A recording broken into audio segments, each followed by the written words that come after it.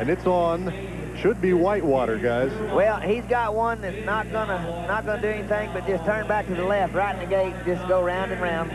A veteran bull from Julio Moreno, and a good draw. And, and Clint Branger, you know, made a made a real solid ride on him last night. And, Mm-hmm. you know, this is a bull that, that's just been around, and you know, bulls just don't last as, as long as this bull has. And got a great heart. This bull is, uh, you know, two years ago, uh, Troy Dunn made a as pretty ride on this bull as, as you know you want to see. And he's been a great bull. He'll be getting turned out pretty soon, but uh, he's still no no walk in the park. You still better do your business. Uh, see him taking the wrap, going to go away from his hand. That's the yep. That's where his backbone's at, and that's where your little finger ought to be. and he, and he's, he, he, he, he, was listening to Donnie. He, he a little too far off to the side.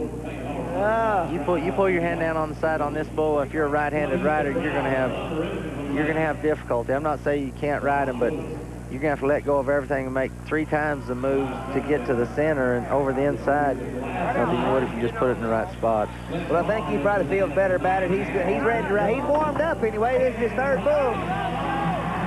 Right there to the left, and he just picture perfect. That boy, Ross. There you go, Nice bull, Ross. solid champion. Nice bull ride. Spur him a little bit. Now get off and throw your hat and get it dirty.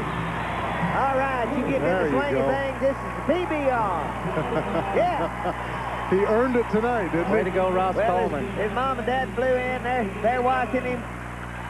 That's just right. That's fun. Look at him. Look at him. It's No, a he- long time since he's skipped around. He's a big, healthy, raw bone kid. You know, three bulls in a day, it doesn't make any difference to him. But this bull just turns back to the left, and, you know, he's in perfect position. He gets out over the front, got his free arm in the right spot to just move jump for jump. You see, he's got some, he's got some talent moving around on him, you know, for as big as he is. That looks good.